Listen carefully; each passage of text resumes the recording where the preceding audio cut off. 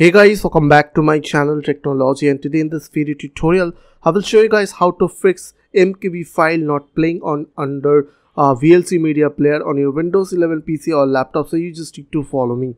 So firstly, what you have to do, you just need to open your VLC media player and click on tools over here as you can see and click on preferences. After that here you will get option called reset preferences. So click on that. Now click on OK now try to play your video under VLC and check if it is working or not. If it is not then follow my next step. Then just go to your tools, open your VLC and go to tools and this time go to preference.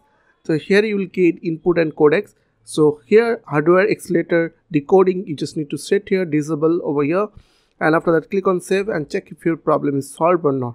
If it is not then just uh, open your uh, video folder where you uh, saved your file and click on view over here. As you can see if you are using windows 11 then go to show and here I just need to uh, check this option which is file name extension.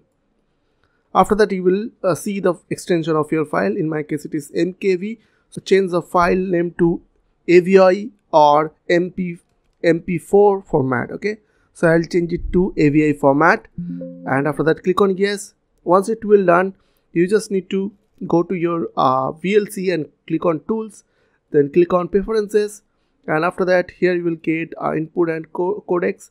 Now here under this uh, window you will get an option called uh, a damage or incomplete AVI file. So here you just need to check this option which is always fix. After that click on save.